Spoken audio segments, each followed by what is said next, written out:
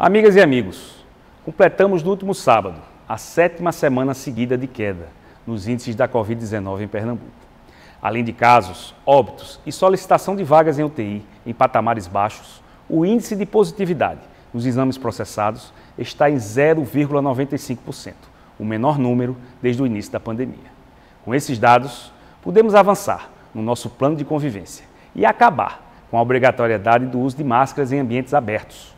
Também estamos encerrando o limite de público em eventos, podendo os espaços de shows, festas e estádios de futebol receber 100% de sua capacidade.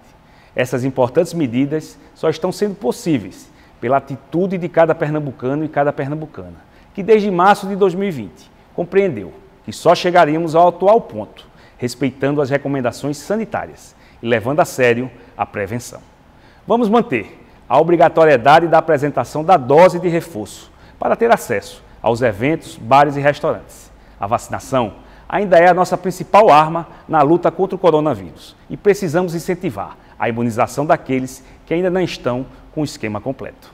As medidas já valem a partir dessa terça-feira, 29 de março. Muito obrigado.